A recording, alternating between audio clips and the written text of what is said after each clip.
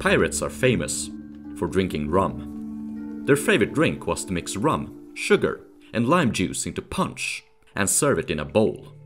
This scene with the punch bowl was almost ritualistic, and wherever there was a punch bowl, there were pipes and tobacco. Pirates loved to smoke as much as they loved drinking rum. In the Americas, tobacco was cheap and plentiful. Some believed it had medicinal properties. It would often be served in barber shops as a cure for toothaches. However, many recognized it as harmful. The church was especially critical and recognized it as addictive, noxious, and unhealthy, both to the smoker and those nearby, especially children. No one really cared about the health risks. 17th century life was dangerous already and often quite boring, so a stimulating and soothing substance was a cheap and much welcome addition to the daily life. Sea captains often acquired tobacco as a morale boost for the crew. It was certainly safer than letting them drink large quantities of alcohol. If food was unavailable, pirates were known to smoke tobacco as a substitute. Indeed, they should hardly be considered paragons of good health. Sure, they were quite physically active and ate better food than the average sailor, but they were also heavily sunburned, drank voraciously, and smoked like chimneys. They smoked in taverns, camps, and aboard ships. The tween decks of a ship always smelled like tobacco. Sometimes it was used as a form of perfume, burned in large quantities to clear out the festering stench of sweaty men, animals, and rotting wood, which would gather below deck in the tropics. But smoking below deck was a fire hazard. Anyone doing so had to put a cap on their pipe. Stray embers could easily set the ship ablaze, and a flame in the magazine could blow them all to kingdom come. Aboard a merchant or man of war, the crew were only allowed to smoke in the forecastle, which is also where they slept. Pirates preferred to smoke on the open deck. It was common to sit in large groups around a bowl of punch. Tubs of water were set out, in which they extinguished their pipes when they were finished. They usually had a slave or cabin boy for filling the pipes with tobacco and lighting them. The Dutch French, and English, prefer to smoke from pipes. The best kind of pipe were made from white clay and imported from Europe.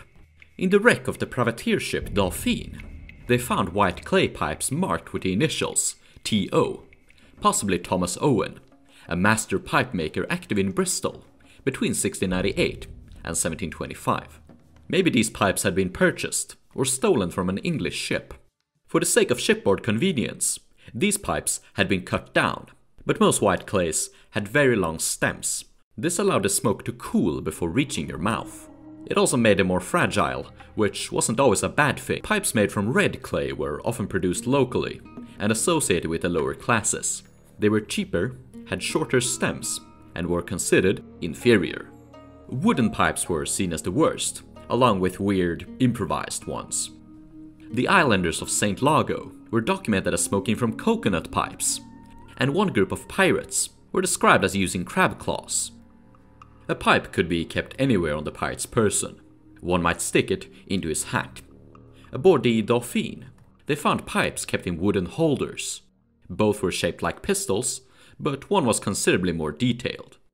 Tobacco could be kept on your person in a special tobacco pouch.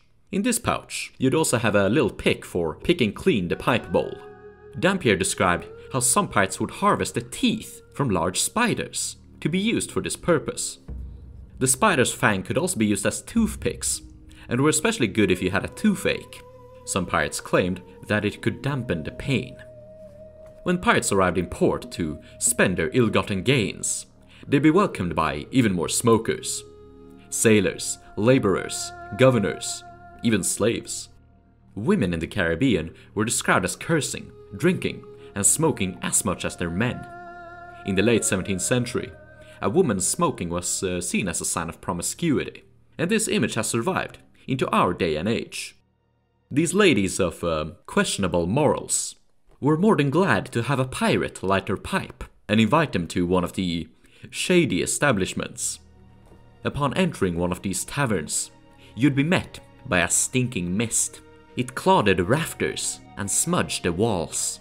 Ned Ward, who I previously quoted in the introduction, described what a typical conversation between two tavern smokers sounded like. There was no talking amongst them, but puff was the period of every sentence, and what they said was as short as possible, for fear of losing the pleasure of a whiff. As, how do you do? Puff. Thank you. Puff. Is the weed good? Puff. Excellent. Puff. It's fine weather. Puff. God be thanked. Puff. What's o'clock? Puff. Etc. Puff. Tobacco was cheap and plentiful, so much so that it was even smoked in prison. Pirates unfortunate enough to enter Newgate in London would be met by a familiar stink of unwashed bodies and a ubiquitous fog of tobacco smoke in the poorly ventilated surroundings. Prisoners could have tobacco brought in by their friends or buy it at the little bar kept by the jailer. Here the drinks were sold at rip-off prices, and female prisoners flirted with the men, trying to earn a pregnancy so they could plead the belly, much like Anne Bonny and Mary Read did. A pirate was more likely to be marooned by his own comrades.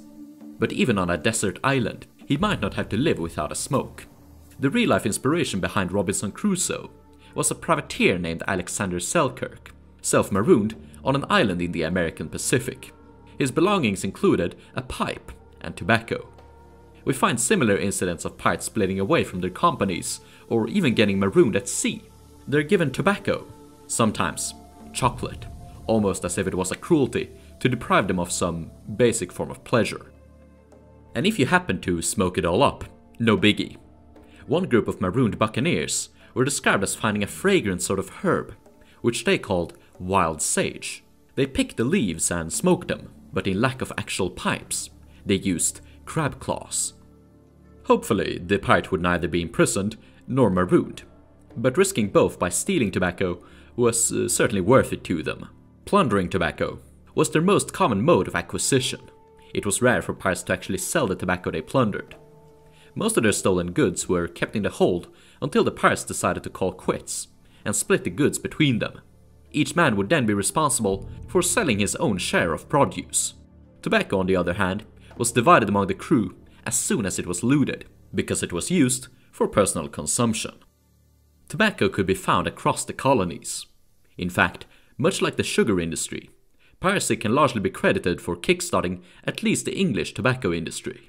In the 1610s, pirates kidnapped African and Indian slaves from Spanish colonies and brought them to the newly settled island of Bermuda. The slaves were not only necessary for manual labor, but also for teaching the settlers how to cultivate tobacco, which they in turn had learned from Spanish plantations. Bermuda would go on to use slavery for specific purposes like these, Many of their slaves would be craftsmen, shipbuilders, and sailors. But I digress. It's a perfect example of how piracy was interconnected with the slave and tobacco trade. Many pirates would become tobacco planters themselves, especially on the island of Tortuga. Tortuga tobacco was best for chewing, but the best funk came from Spanish colonies, especially modern day Venezuela. Gibraltar tobacco was called tabaco de sacerdotes, priest's tobacco, but the best came apparently from the town of Verina. In the north, Virginia produced both sweet and strong tobacco great for smoking. However, Virginia wasn't a dependable hub for pirates. Pirates preferred urban, maritime communities, where they could easily blend in with the local sailors and easily fence their ill-gotten gains. Additionally, tobacco served as the local currency in Virginia, so if a pirate arrived with gold and silver, he'd have a hard time buying anything and would raise a lot of suspicion. Whilst the Northern Europeans preferred to smoke from their pipes, there were other modes of consumption. The oldest method was simply to chew the leaves. Chewing tobacco was also woven into plates. Tobacco was also processed into snuff, tobacco powder inhaled through the nose. Snuff was popular in Europe, not so much in the Caribbean, but it happened. Snuff was prepared manually. This was done using a grater. It consisted of a container topped by a metal grater.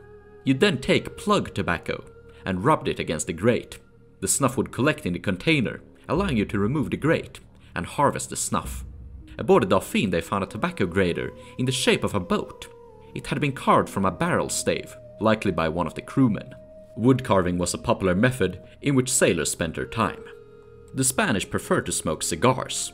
They were enjoyed by both men and women, aristocrats, sailors, and slaves by white Spaniards, blacks, and Indians. Pirates were surely able to steal cigars from Spanish ships, so it's not unfeasible that we find one or two smoking them, much like Charles Vane in Black Sails. Though a pirate was just as likely to rip the cigar apart and put the baca in his pipe. Native Americans had been smoking cigars since long. According to Arawak legend, a legendary traveler called Karakaracol, the Scaly One, was credited with bringing them the holy herb. It was used for trade, religious ceremonies, and pleasure. The Kuna of Darien were frequent allies of pirates. They would give them provisions like food and tobacco in return for their assistance against the Spanish. A buccaneer surgeon named Lionel Wafer spent several years living among them and described how they smoked tobacco. It was a communal activity, with a group of any size sitting together in a large room. A little boy would light a big cigar and go from person to person, blowing tobacco smoke in their face. The smoke was inhaled and kept as long as possible without exhaling or inhaling. Other Indians smoked cigars on their own, much like anyone else. The Carib Indians used tobacco to tame parrots, many of whom were sold to sailors and pirates. After capturing the parrot, they fed it by hand, and if it ever bit them, they blew tobacco on its beak to punish and pacify it. Cigarettes would not become popular until 1855. The Arawaks were also documented as producing a narcotic snuff. This was primarily used for religious ceremonies, and I don't think pirates ever got to try it. I often get questions if pirates ever used any hard drugs, and well, the answer is alcohol. It was cheap, effective, and readily available. Other substances were rare and hard to find. Cocaine wasn't refined until 1855, but pirates frequently encountered a coca leaf during their adventures in the Spanish Pacific. It was described as tasting like bay leaves and that it turned your teeth green. The Spanish in South America would ration it out to their Indian subjects as a form of payment, and it was also given to their soldiers. They would stick it in their cheeks during combat, keeping their energy high and hunger at bay. A few buccaneers visited Southeast Asia. They were often treated to the betel nut, a mild stimulant producing a warming sensation in the body. William Dampier described the nut as tasting rough, dyeing your lips red and your teeth black, but that it cleansed your gums and was, quote, wholesome for the stomach, unquote. Modern research has found that the betel nut causes cancer and should be avoided. The question on everyone's mind is did pirates smoke weed? In the period, weed was a slang for tobacco. Concerning marijuana, it doesn't seem to have been produced outside of Asia. William Dampier was actually one of the first Englishmen to ever describe the effects of marijuana when he visited Indonesia in 1689. I'll read the entire segment from his book. They have here a sort of herb or plant called ganga, or bang. I never saw any but once, and that was at some distance from me. It appeared to me like hemp, and I thought it had been hemp, till I was told to the contrary. It is reported of this plant that if it is infused with any liquor, it will stupefy the brains of any person that drinks thereof. But it operates diversely, according to the constitution of the person. Some it keeps sleepy, some merry, putting them into a laughing fit, and others it makes mad. But after two or three hours, they come to themselves again. I never saw the effects of it on any person, but I have heard much discourse of it. What other use of this plant may serve for, I know not, but I know it is much esteemed here, and in other places too, whither it is transported. So Dampier did not smoke marijuana. In the 1670s, East India merchant Robert Knox ate cannabis to ward off the nauseating effects of bad shipboard water. Knox wrote of the herb that it intoxicates the brain and makes one giddy. When he returned to London, he showed a sample of cannabis to Robert Hooke, a soon to be physician. Hooke described it as an intoxicating leaf and seed, wholesome, though for a time it takes away the memory and understanding. The next month, he delivered a lecture to the Royal Society describing his experiments on the drug. He said it was administered by grinding the leaves and seeds into a fine powder, enough to fill a common tobacco pipe, but it was not smoked, it was chewed and swallowed. Hooke went on to advocate its medicinal usage and even wanted to grow cannabis in London. However, his ambitions had lackluster results.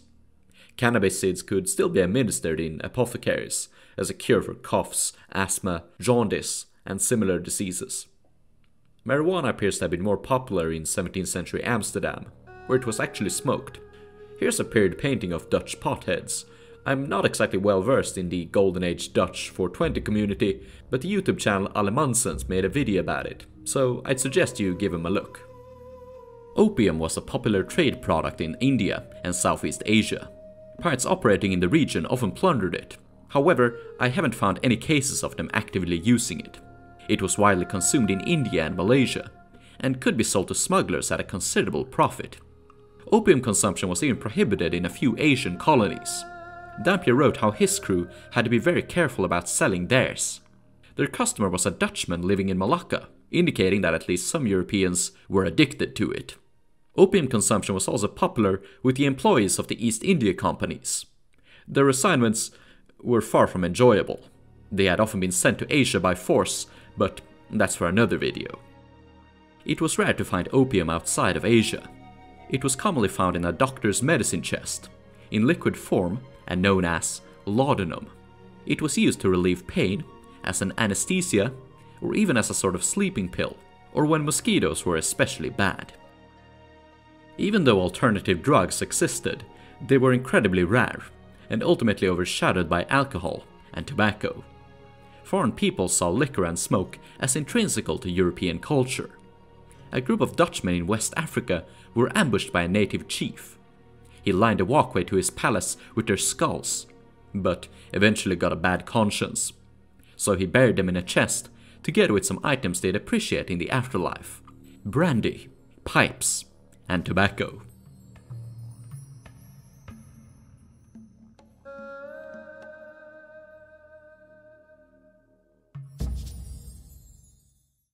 As usual, thank you to my generous supporters over on Patreon. Patreon supporters get early access to my videos and can watch them without ads. And if you want to interact with fellow part enthusiasts, check out the link to our Discord server in the video description. Cheerio!